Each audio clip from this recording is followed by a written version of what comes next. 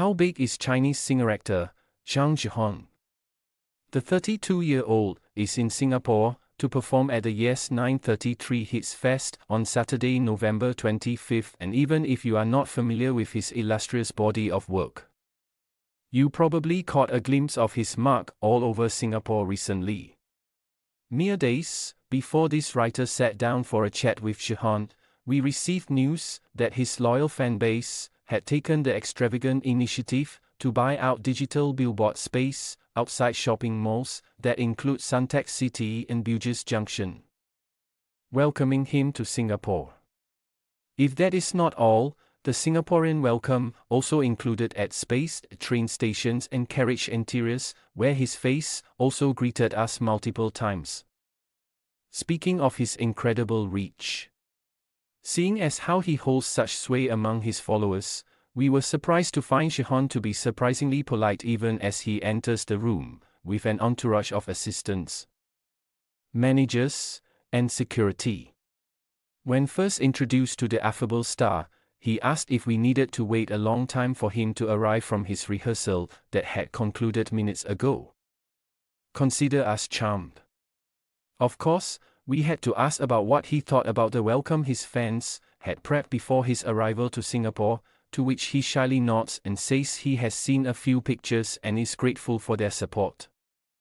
I think it is a very nice gesture and I see it as their, his fans, unique way of communicating with me, while creating a festive vibe while I'm here, he says. And you know he means it when he pauses to ask one of his minders if they had some time to go see them in person. The minder acknowledges his request with a quick nod before looking back down at her phone. When we tell Zhehan that many are anticipating to hear news of a possible drama next year, he shares that he is currently in no rush to act in a show, though he is all ears for a script that has a good love story. As someone who has been in many romantic roles, I can't wait to dig my teeth into another one and make it a big hit. As I grow older, these opportunities might become less frequent as well, he says. However, Fans who are looking for him to repeat his performance as Zhou Zishu in the widely successful Word of Honor might be disappointed as Zhehan firmly says that he has put that chapter behind him. Personally, I feel that show was such a success that it has accomplished everything it possibly can, and I rather challenge myself in other roles. Even if play something similar, I will present a very different interpretation to audiences, he says. Zhang Zhehan, I am definitely ready to give one of my best shows to the audience here in Singapore. Before I go on stage, I always need to have a plain bowl of noodles. It doesn't need to be anything exciting, but I always feel that I perform best when I have such a routine. How does it feel to have so many number one hits on iTunes these two years? All credit goes towards my fans, who not only made my music go to the top of the charts, they stayed there for so long. Because of them, my voice and music managed to reach a global audience. Do you have a favorite song from your last two albums? Wow! That is really difficult for me to do. Can I choose two instead? Come to think of it, even just two would make me feel sorry for the rest laughs. Why are these two songs so special to you? From my album Deep Blue, my favorite would have to be Primordial Theatre, as it is about a person going through life's many ups and downs.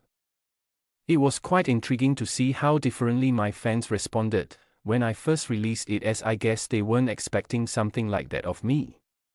I also can't leave out Lost Glacier, as the lyrics speak about beauty that lies within regrets, I always need to portray a strong image when I perform this song. We know you just landed in Singapore, but do you have any places you would like to visit while you are here? Honestly, I will need to do a little homework, though I am very keen to visit the Singapore Botanic Gardens, as I have heard how peaceful it is.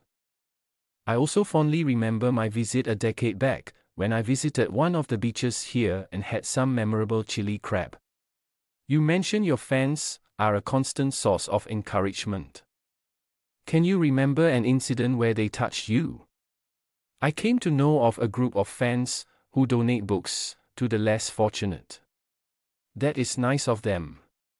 Yes, I have learned quite a few things from them. And they make me realize that no matter how successful we become, we must contribute back to society. In my own way, I tried to help a kid from a rural area before by also sending extra books to him. Though I am happy to help others, I later found out he dropped out of school so now I'm more conscious to consider if someone wants to be helped.